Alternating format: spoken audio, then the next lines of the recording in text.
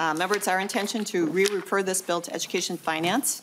Um, Rep- Representative Feist, would you like to motion your bill before the committee to be re-referred to um, Education Finance, House File 1547? Yes, Madam Chair, I couldn't have said it better. That is my motion. Thank you. All right, Representative Feist moves House File 1547 before the committee to be re-referred to the bill, the- to re-refer the bill to Education Finance. Now that the bill is before us, Representative Feist, please introduce yourself for the record, and please proceed. Yep, thank you, Madam Chair. Um, Sandra Feist, uh, Representative 39B, member of this committee.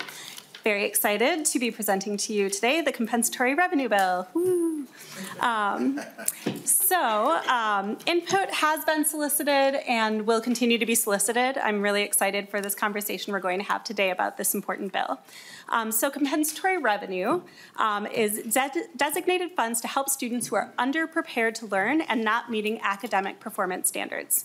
Um, To give you a sense of scale, um, in the 2023-24 school year, um, there's an estimated $763 million um, in compensatory revenue, which is 8.1 total of the statewide general education budget.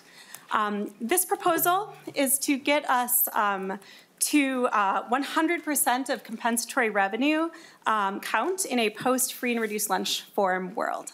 Um, We know um, that uh, Currently, um, the Medicaid direct certification um, plus um, SNAP and MFIP gets us to about 90% of the students that we intend to target with these dollars. Um, and the goal of this bill is to make sure that 100% of those kids are being counted. Um, this bill also works in a number of recommendations from the Office of the Legislative Auditor, um, because if we're doing one thing, we might as well do all the things that, that they have recommended um, that we think uh, collectively are a good idea. Um, so I will run through briefly what this bill does. Um, first and foremost, it is um, replacing the free and reduced lunch proxy um, with an additional formula. So um, this bill proposes that we rely on the Medicaid direct certification plus SNAP, MFIP, et cetera, um, and then also add to that formula um, ELL up to 4%, um, high mobility numbers up to 2%, and um, collection of forms up to 4%. And uh, if as we continue the discussion, um, Tim Strom can explain that in more detail if folks would like. Um, but the goal here is to use um, those numbers from our ELL and our home mobility um, to get us again um, from 90% of the count that we're currently at to 100% of the count um, in a way that does not force schools to rely on free and reduced lunch forms exclusively that are going to be unnecessary because we are hopefully moving to universal meals. Um, so the, the explanation, just to give a little bit of detail, um, the ELL numbers we thought were a really good measure because they really do reflect the types of students that we are trying to target with these dollars.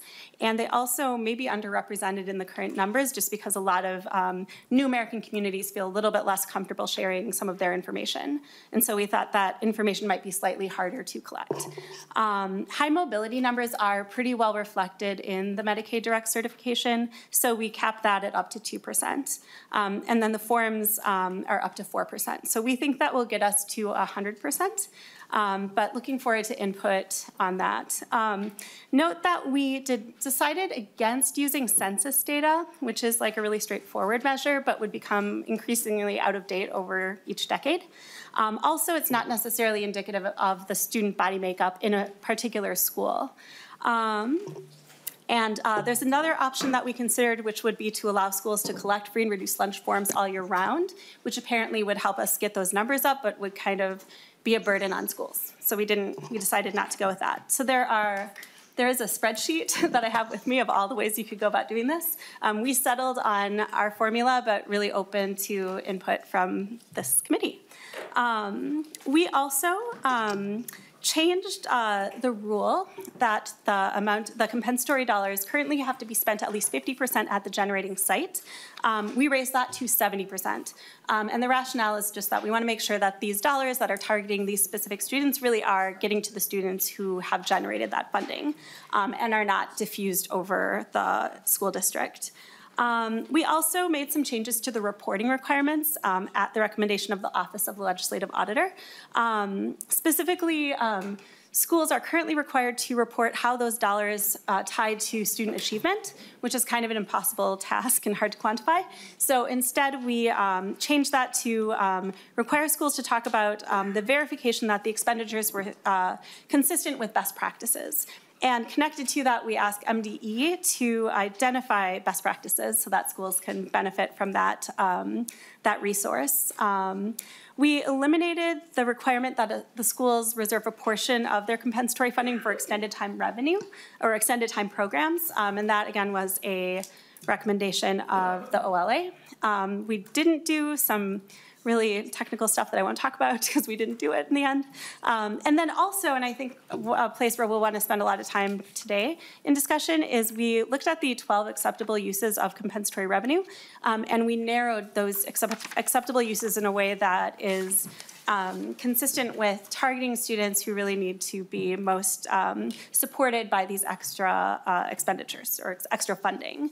So um, that is what the bill does. Um, and like I, I said, this is kind of the beginning of the conversation. I've had a lot of conversations with every colleague and stakeholder who would meet with me, um, but a lot of people kind of wanted to see like what the bill looked like and then provide input.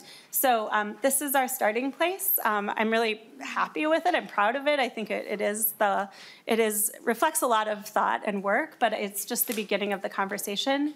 And um, I'm excited to hear what everyone's thoughts are. And I'll be taking copious notes and probably watch the video again later.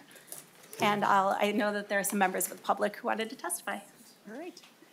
Thank you, Representative Feist. First up, I have Matt Shaver.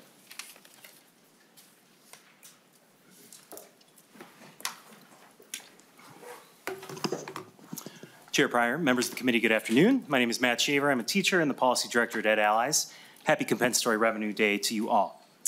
I'm here to testify in support of House File 1547 and want to thank Representative Feist for her multi-year leadership and vision in working to improve the best tool we have in Minnesota to equitably resource schools serving students in poverty. Ed Allies strongly supports Section 2, which is a thoughtful proposal to identify compensatory generating students that direct certification may not find. As a reminder, nearly all Minnesota students who qualify for free and reduced price meals, as well as generate compensatory revenue, do so through direct certification. We also support the narrowing and focusing of the uses of the funds as outlined in Section 3, keeping as much of the additional funds generated by students at the school site they attend, as noted in Section 4, and in Section 6, an effort to work toward phasing out the inaccurate and unnecessary use of paper forms for the purpose of compensatory revenue. I'm going to cede the rest of my testimony time because I know that there are members of the public who are parents, students, and educators who came here today hoping to testify on a subsequent bill. Thank you, Madam Chair. Thank you.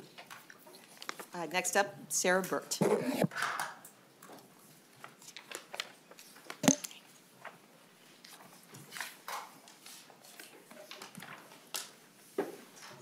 And please identify yourself and proceed. Thank you, Madam Chair and members of the committee.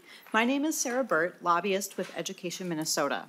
We support the approach in House File 1547 to address the need for adjustments to the compensatory revenue formula. Through expanding the number of students that would be counted in the compensatory revenue formula to include measures beyond direct certification, this puts in place some mechanisms to ensure fewer kids will be missed um, in the state count as the state migrates to a new system of calculating compensatory revenue. Moving away from the system of collecting a paper form from families removes a key barrier to this funding getting to the buildings where students need the extra support. I've heard stories from some of our members that around the deadline for these forms to be turned in, they would take time after work to help the district reach these families. They were happy to pitch in because they knew how valuable it was to get an accurate count of families who would benefit from free and reduced price lunch. However, they're at capacity in their current roles, and they'll be relieved to know their students will still be counted. The targeted uses of compensatory revenue in this bill will help further direct resources towards the opportunity gap from the earliest ages to high school students. We know the students in these school communities need extra support to reach the state standard level for achievement in core content areas. This bill directs funding at that area. We know these students need more individual instruction, and this bill would fund that through funding more teachers and teaching aides, more team teaching, which will result in lower instructor to learner ratios. Directing funding into classrooms to ensure more individualized instruction is good for our students and is a crucial tool to retaining teachers. We also support the focus on funding programs that relate to reducing truancy and investments in meeting the social and emotional needs of our students through providing more school counselors, social workers, and guidance counselors. Thank you to Representative Feist for working on a targeted approach to directing resources to these students and the caring adults in their school communities. At the end of the day, there are public school students behind these numbers, and we really appreciate your strong advocacy for them. Thank you, Ms. Byrd. Scott Kuhnquist. I'm sorry. I can say your name, just some days I have trouble getting it out. And please identify yourself for the records and proceed. Thank you, Madam Chair and members. My name is Scott Croonquist. I'm the Executive Director of the Association of Metropolitan School Districts. We represent 50 school districts and intermediate districts that collectively enroll more than half of the state's public school students. Uh, First, I want to thank Representative Feist very much for her work on House File 1547. Uh, She has been tireless in, in this endeavor in trying to solve uh, this critical issue. Compensatory revenue is a very important funding stream for our school districts. And actually, for years now, we've tried to identify better metrics um, and move away from the very burdensome and kind of cumbersome collection of the uh, pre-reduced price lunch forms. Now, however, with the move towards universal meals, there is a real urgency to uh, go in this direction. Otherwise, we have school districts that will literally lose millions of dollars in compensatory revenue. Now, I know there's been some estimate that up to 90% of uh, eligible students could be identified through the direct certification. However, I will tell you that we recently completed a survey of our member districts, and we do have members that have indicated that 20% or more of their students will not be identified um, absent uh, the, the old method of um, filling out the form. And so that's why it's even more important that we move forward with um, a proposal like Representative Feist, House File 1547, and identify additional metrics. Uh, we have had a chance to get some very preliminary feedback from a few districts, and we think we still need to probably make a few tweaks, um, just because uh, some are indicating that they'll still come up a little bit short under the proposed method. Just one other quick issue, Madam Chair. Um, we do have a few districts that do have a problem with um, moving from the 50 to 70 percent of revenue being required at the site. Uh, we have a concentration formula that determines compensatory. And thus, some um, buildings generate very little revenue, although they still have students with significant needs in those buildings. Um, but they will not have enough revenue at that site. If you continue to let your school boards have the ability to do, do a local plan, they can ensure that all students receive the resources and the services that they need. Thank you, Madam Chair members. Appreciate the time, and we appreciate Representative Feist's work on this. Thank you. Thank you. Um, I have no more testifiers on this particular bill, um, so we will move to member discussion, and we welcome member discussion. Yes, Representative Erdahl. Uh, Thank you, Madam Chair, and uh, Representative Feist. I'm just, just wondering, you know, we, about uh, half of our students are grade level proficient in reading and fewer than half in math. Um, Is there any correlation with the uh, compensatory revenue programs and uh, doing anything to impact that? Representative Feist. Yep, thank you, Madam Chair. I was just trying to go to where we talk about kind of the change in acceptable uses. Um, And definitely, um, we know that issues like like literacy, as we, we talked about in our last committee hearing, um, are, are a critical issue for, for these low-income students. And I'll, I'll just read again kind of what the compensatory dollars are intended to target. It's designated funds to help students who are underprepared to learn and not meeting academic performance standards. So those are the students we're trying to provide these extra supports for. And so um, looking at the bill, we looked at line 4.28, and I believe this was in in the existing list of 12 acceptable uses already. Um, but we talk about remedial instruction in reading, language arts, mathematics, and other content areas, or study skills to improve the achievement level of these learners. Um, I know when I was looking at this list, I thought about adding in literacy specifically, and I felt like it was kind of implicit. But if you do have input on how you think that we could better target like the acceptable uses to make sure that we are providing that extra like literacy and mathematics, like basic supports for these students, um, I would definitely be open to them. Uh, Thank you, Madam Chair, and Representative Feist I'm just, you know, glad that you are focusing on that area, uh, that you know, it's important to, to have positive outcomes based on, on the spending. Representative Mueller. Uh, Thank you, Madam Chair, and thank you, Representative Erdahl, for asking that question. Um, I guess I just have some concerns, and, and maybe it's just my ignorance, because I was a classroom teacher and I wasn't in charge of having to do any of these, any of this type of reporting, that you are now changing. Um, It does say, you, you highlighted it in your testimony of 6.12, a district may also report when um, Programs are funded with compensatory revenue, are consistent with best practices demonstrated to improve student achievement, and you've crossed out levels. So I know you had Representative Erdahl look at the uses of compensatory funding, but we've had compensatory funding for years. And um, if we're not, and the purpose of it is to make sure that we're helping our students who are struggling and are not coming prepared how will we know this is actually working if we remove the specific reporting mechanism? Representative Feist. Yep, thank you, Madam Chair. Um, So um, I think the way the language was written originally is basically impossible for an individual school to do. And that was why the Office of the Legislative Auditor really specifically said that that language should be changed. Um, They said, um, unreasonable requirement for determining impact. Although statutes require school districts to annually report compensatory revenue's impact on student achievement, the requirement is unrealistic. Isolating the effects of a single revenue stream requires rigorous research methods that are, at best, impractical for school districts. And so that is why we changed this specific recording re- requirement. Um, but I do agree that there should be some, like, there should be mechanisms that we should support at the legislature to kind of understand, like, how our education budget works to impact student achievement, to address the opportunity gap. And if you do have specific input on that line, like, I'm very open to it. Um, but that's why it's, it is the way it is. Great, thank you. Representative Mueller. Yeah, and maybe we can, thank you, Madam Chair, maybe we can ask uh, nonpartisan staff to just, I don't know what this reporting was like before and what it's going to change to, and um, maybe that's something we need to talk about offline, but I know as a specific teacher, I'm able to record how things, and I hear what you're saying with the auditor of, you know, we can't specifically look at a specific revenue stream, I get that. But if that's what these are for, you know, if that's the purpose of these, then we better make sure that they are doing what they said they're doing.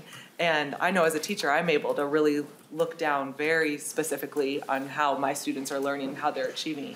And so maybe if I could just throw that question to nonpartisan staff and let them give me a little bit more detail, that would be Right, great. so- Thank you, Madam Chair. um, As, as Representative Feist highlighted for you, um, the way it was written in statute originally was to say it was this particular funding stream. You have to show the result tied to that funding stream as opposed to everything else that your school district is doing. And I think that that's where um, the, the OLA report said that this was unrealistic to do. Um, Is there a comment from um, nonpartisan staff that adds to this discussion at this point? Madam Chair, Mueller, I think you, you've captured the, the nature of the OLA uh, concerns with that. The, I, I believe por- portions of the OLA report are in our packet here, but the, uh, separately, why don't I make sure that uh, all the committee members have a link to that report and their discussion about why they thought that was uh, an unachievable way for the legislature to measure that. Thank you, Representative Madam- Mueller. Yeah, thank you, Madam Chair. And, and I, and I understand that. I, I just don't know what it was before and what it would be changed to, and just to make sure that it actually is doing. As I said, I understand what the OLA is saying, and I thank you, Mr. Strom, for, for doing that. And, I- um, and Representative Mueller, I think your microphone is maybe not. JK. and we're not- not- I- I'm sorry. I have a teacher that. voice, you can't hear me? Surprising. No, and I, thank you, thank you, Mr. Strom, and I, and I appreciate that. As I said, uh, I don't know how it was recorded before, and I just wanted to know what it would look like after the recommendation has been, has been uh, changed, just to know that we're seeing a correlation. So, Right. thank you, and we can check on it. I appreciate that. Further, yeah, we, I think, I think that is a good one to follow up more in detail off- offline. And um, I- I'm, uh, Representative Youakim? Thank you, Madam Chair, and I just want to make note too for members that it will be coming to Ed Finance um, because we will have an appropriation here that deals with the changing of the percentage to make up for um, the students that might be missed by the forms. Um, I'll have to ask about how that interacts with concentration because that's the first time I've heard about it, and we've been talking about this for months, so we'll, we'll, we'll figure out how that works. Um, But no, I just wanted to point out, um, thank Representative Feist for pointing out the OLA report, because that's what kind of kicked off this whole discussion in, uh, even before we were talking about universal meals. It was kind, of, they were kind of both happening at the same time, but we knew that if we did one, we'd have to look at the other as well. So this has been a long process for you, and we've talked through a lot of like what's, what we've, um, how we're directing it. But I, I do, maybe it's just, maybe your answer on the reporting, I don't know if a school district's um, ready to come up and chat about it, but from the way I'm reading this language, it actually gives you a little more flexibility on that reporting. So do you want to, Any, I'm seeing nods, but it'd be nice to have it on record, is what I'm saying.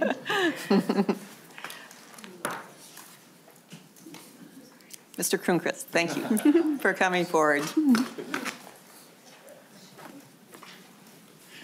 Uh, Madam Chair, Scott Croonquist with the Association of Metro School Districts. And yeah, Representative Youakim, I, I agree. I- We think that is workable, the, the proposed language in the, in the legislation. Thanks. And daughter. All right, and uh, Representative Bakeberg.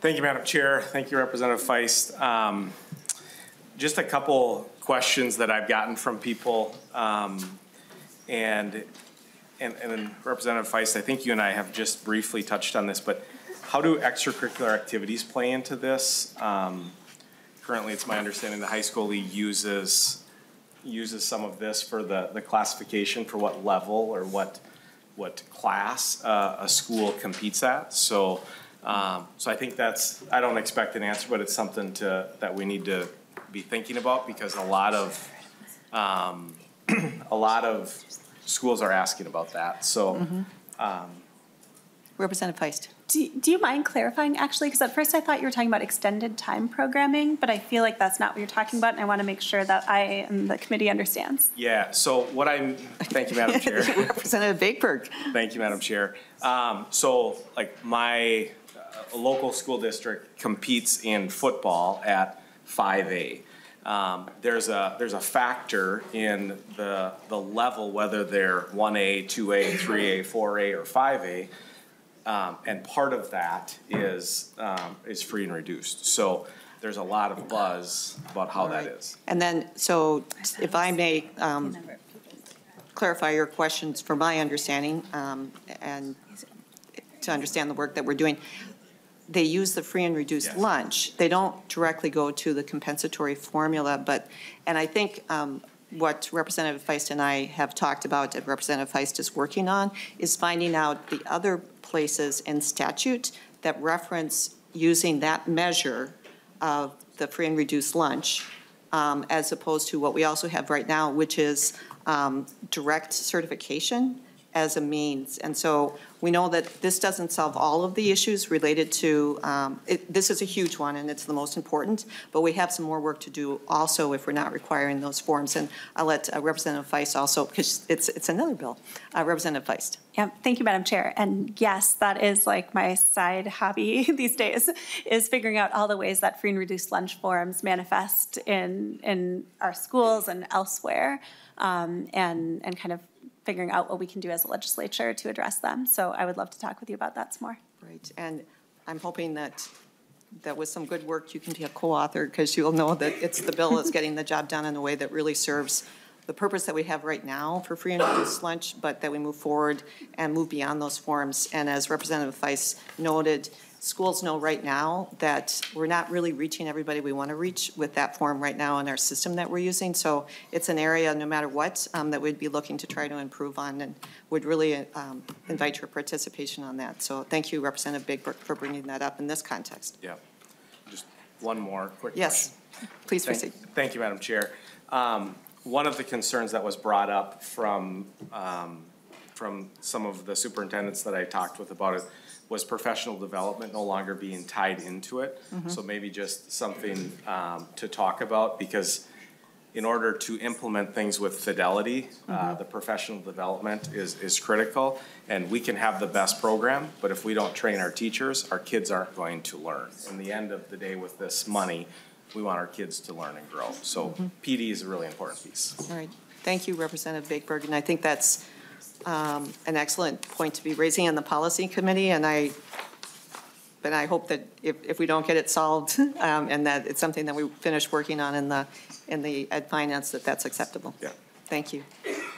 Um, A comment, uh, Representative Feist? Sure, yeah, um, I, I definitely, um, I appreciated our email exchange and definitely, um, I can, I can wait until side conversation's done. Um, anyway, yeah, I, I appreciate that input. Um, I think that I would love to have conversation with you about the professional development and how we can make sure that it is, it is professional development that kind of supports the mission of these specific dollars. Um, but I definitely agree that that is an important, just part of the big picture, making sure all students are supported, so.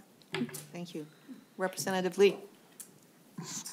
Thank you, Madam Chair. Um, Well, first, I want to thank Representative Feist for carrying this bill. I represent a school district that was very happy we uh, passed universal uh, meals, but they were also concerned about um, the compensatory aid portion. So thank you for carrying this. Um, I, I just, yeah, want, want to say that. And then um, the other piece is, um, you know, I, I love the conversation about um, making sure that we um, are cutting back on, on paperwork and streamlining the uh, administrative piece of this.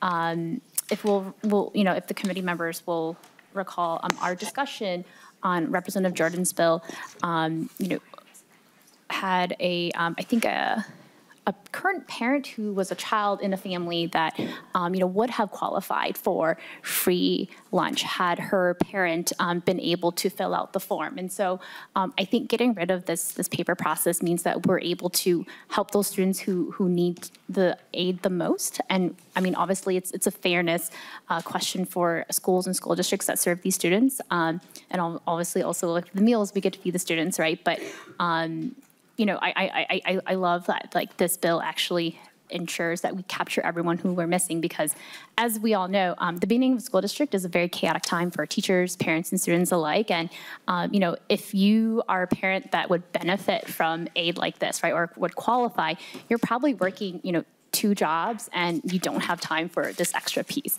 So, thank you.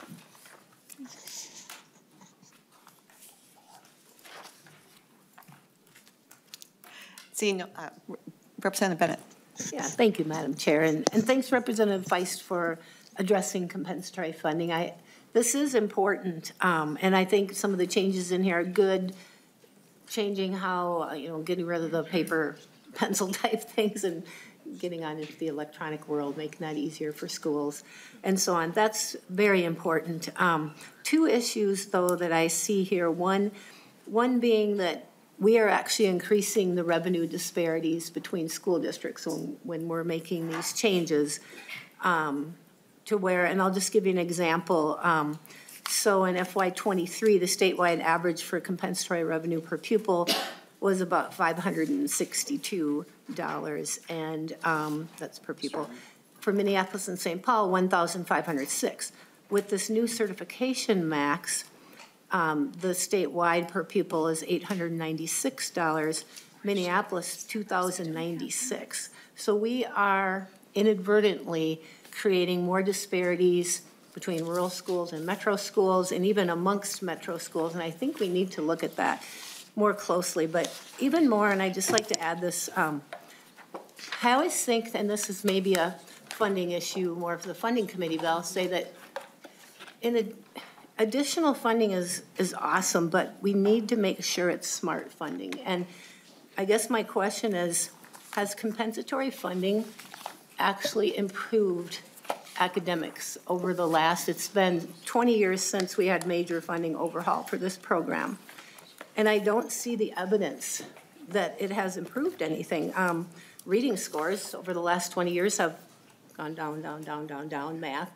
And then, uh, same with our achievement gap has grown over that time. And so I think we need to look at here, um, is it accomplishing what we want to? And if it's not, we should tweak it. I'm not saying get rid of the program, but not just tweak it, but make some innovative changes. Like perhaps we could uh, just give dis- districts more opportunity and flexibility for innovation. Tell them that we want, this is intended for promoting academic achievement, lifelong learning, and then leave it to them to determine and target those students as to how they're going to use that funding. Because what we're doing now with this money is not working, and simply putting more money into it, that's not going to solve the problem either. We're, we need to make some core changes. So I would just add that I would love to see more innovation allowed, more flexibility for school districts, so that we're smartly funding and not simply funding. Thank you. Thank you. And I've been misreading the signals here. Um, We do have two more people that would like to speak, but appreciate your comments. Um, Any, any specific, uh, uh, reply, Representative Feist? Yeah, thank you, Madam Chair, and thank you, Representative Bennett. Um, I have a few thoughts in response. Um, The first is just that um, equal is not necessarily equitable. And so the kind of point of having compensatory revenue is that we have identified certain students that do need extra investment and support. And so I just wanted to make that point. Um, the second point you made, I love.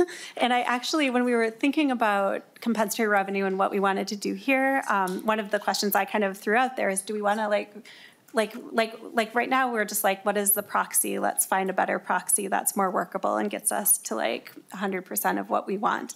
Um, but do we want to rethink compensatory revenue and um, and and what we want to achieve with this portion of our education budget which is very significant?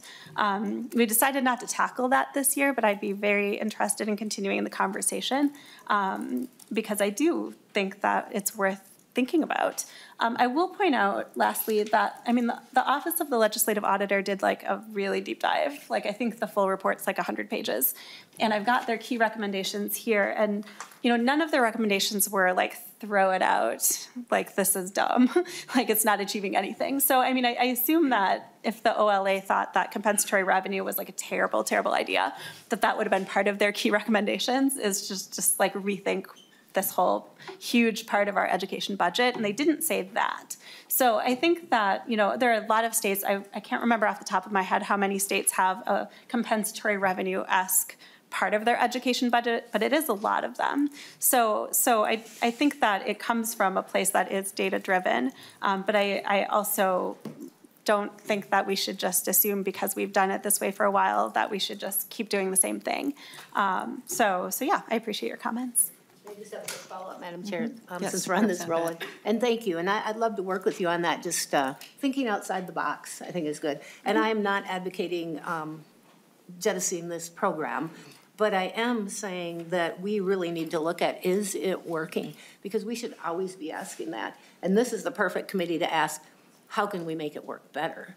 And, and measuring input, you know, what's, how much money we're giving for this type of student, that type of student, is not what we should really be focusing on. We should be focusing on the outcomes, and I'm not seeing the outcomes showing that the input is really working. So um, at this, with this bill right now, I have a difficult time supporting it. If we can add more innovation and, and try to make this, whatever, work better, then I would be more in support. Thank you. Uh, Madam Chair, could I still? Um, Thanks. I I would be really, ha- thank you, sorry, Madam Chair. Um, I'd be happy to talk, I think the acceptable uses portion here is where that conversation should live, so I'd be happy to continue that conversation. Thanks. Representative Frazier. Thank you, Madam Chair, and sorry for the confusion My fault. on, on that. No, Representative Feist, thank you for bringing this bill. I got to tell you, uh, about a month ago now, I was speaking to a room full of educators, and they were excited about the idea of all students having universal access to, to breakfast and lunch. And they were also concerned, as Representative Lee mentioned, about um, not being able to capture those students for this compensatory aid. And I said, we've got some smart people at the legislature, and there's somebody working on this, and they thought about this. So thank you for making me right. I appreciate that, and good job on this. Uh, just one of the one of the questions I had uh, was in reference to what um, Representative Bennett said about creating this, increasing this gap between the, the funding, um, because now we're going to be capturing more folks. And, and, and part of me, I think that points out one of the issues that we really have, right? We've got high levels of concentrated poverty in certain areas, in certain districts within our state.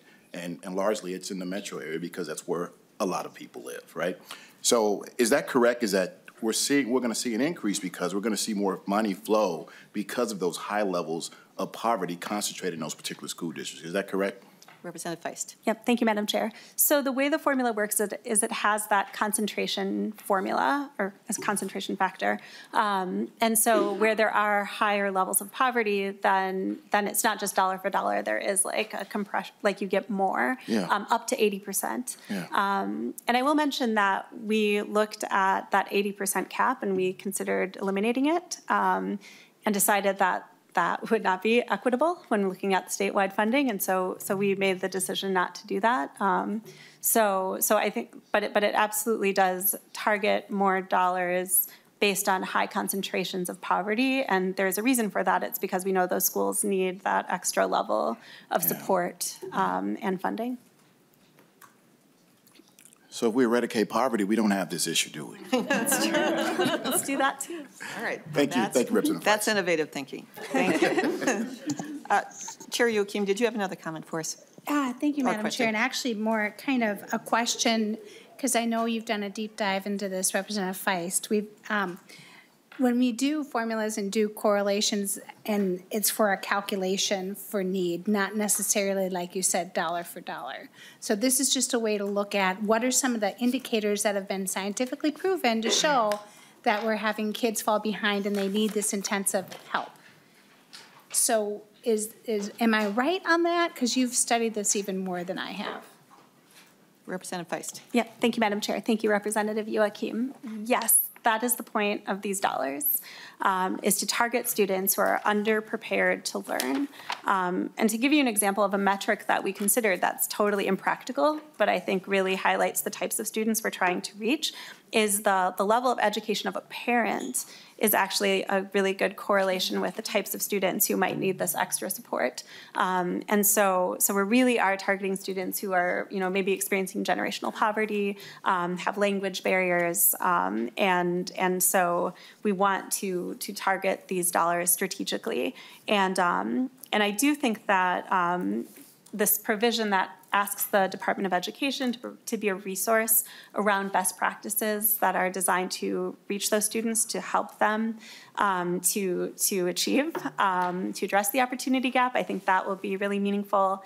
Um, and, and I do really look forward to the conversation around acceptable uses because we really do want to make sure that we don't, like this, we don't want this to just be part of the education budget that's spent on toilet paper and tampons.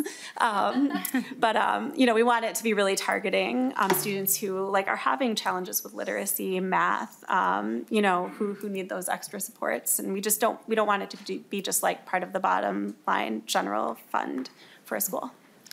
Madam Chair, just quick follow-up. Chair Youakim. And I, I, I did reread the OLA report, the executive summary, and you are tackling four of the five key recommendations, so thank you for that. And maybe I can just ask a question, um, just to prepare maybe Representative Bennett offline. We don't have a fiscal note or runs for this, so the numbers that you were stating and the disparity, we haven't even gotten a fiscal note on it, so I'd be curious to find out where you got those numbers, but that can be done offline. Thank you. And we look forward to the education finance discussion of this, too. Uh, Closing comments, Representative Feist. Thank you, Madam Chair. Thank you for the really great conversation. As I said, you know, like for me, the most important thing here, um, at, like the most important urgent thing is that we make sure that schools receive the funding that they need, the compensatory revenue that they have, that they rely upon. Um, and, and so um, that is what this bill seeks to achieve, but I think that that, um, looking at the acceptable uses and the other policy tweaks that we've made, I think this is an important step forward, and um, I would uh, hope you all can support it. Thanks. Thank you, Representative Feist. And, and thank you for the work that you've done on this. I think a lot of people have recognized that this is something um, for various reasons, and now is particularly compelling, um, that we had to take a look at, make a change now, um, even as we keep revisiting it and, and try to direct our um, dollars to where they have the biggest impact on, on the students that are, have the greatest need. So, thank you. Thank you for bringing this forward. Um, So I will uh, rep- renew Representative Feist's motion to re-refer House File 1547 to the Education Finance Committee. All in favor, please say aye. Aye. Opposed? No. All right, um, the ayes have it, and uh, our bill is moving to Education Finance. Thank you, Representative Feist.